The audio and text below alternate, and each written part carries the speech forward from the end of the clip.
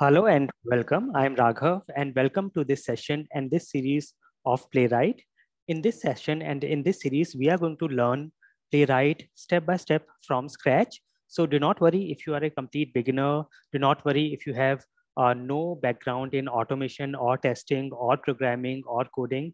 I'm going to start from scratch and we, we are going to go up step by step. So in, in this session, we will start with understanding what is Playwright and we will look at the features of Playwright and I will show you all the features. We will discuss uh, what is Playwright, what are the applications supported, what are the browsers supported, what are the operating systems supported, and everything about Playwright. So this is going to be a very much theoretical introduction session. And from the next session onwards, we will do hands-on, we will see the prerequisites, and then we will install and use Playwright.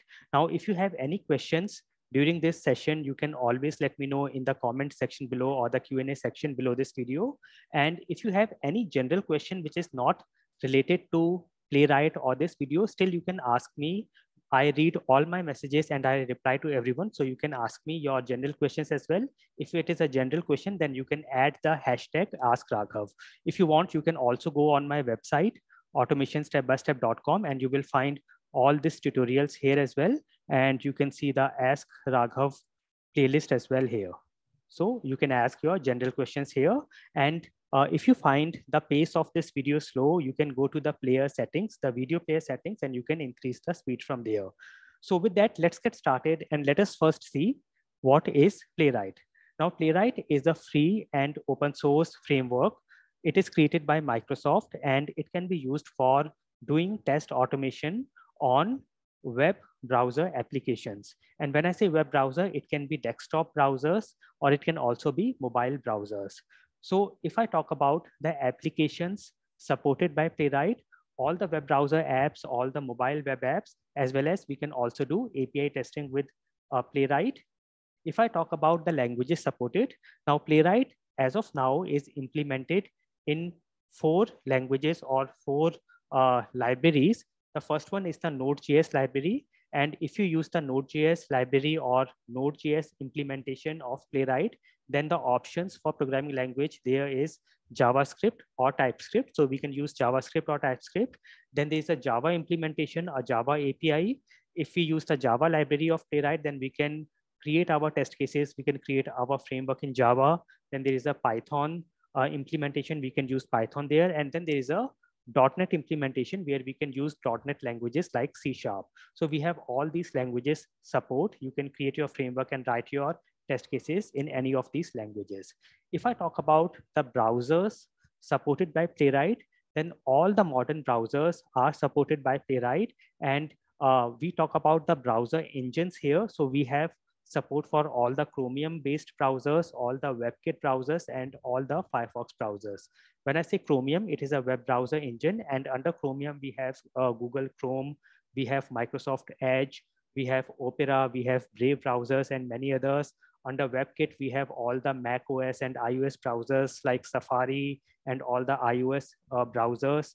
Then if I talk about Firefox, then all the versions, all the flavors of Firefox, whether it is desktop Firefox browsers or mobile Firefox browsers, everything is supported by Playwright.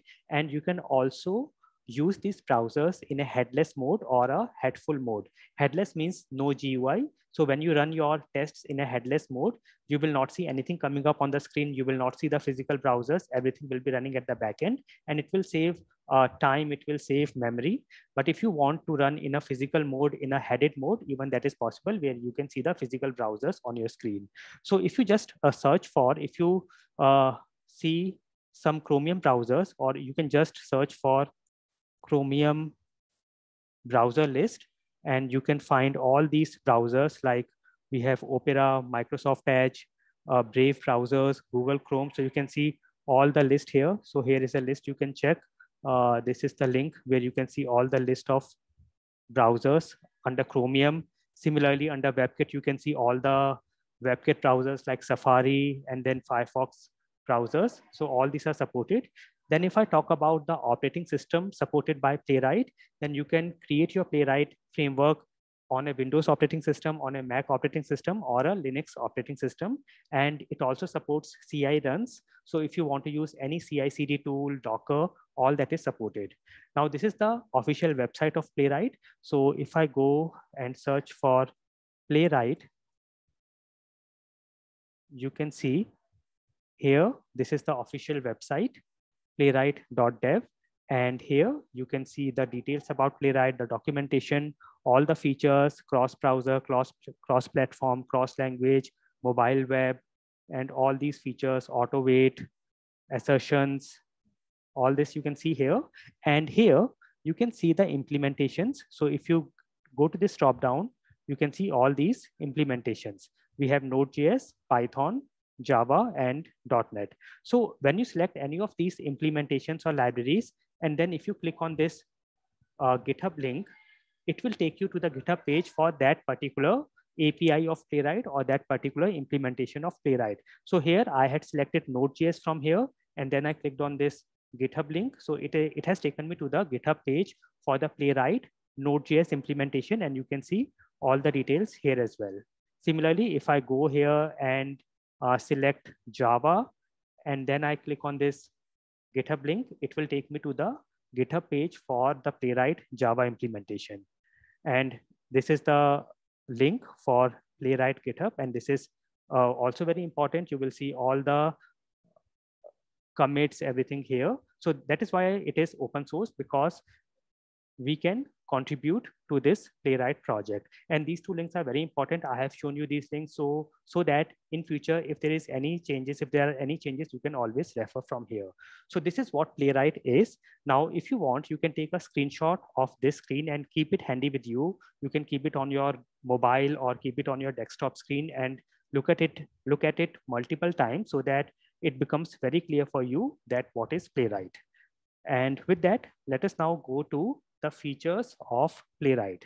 So we have already seen it is free and open source. Free means you can use it freely and open source means we can contribute to the Playwright project.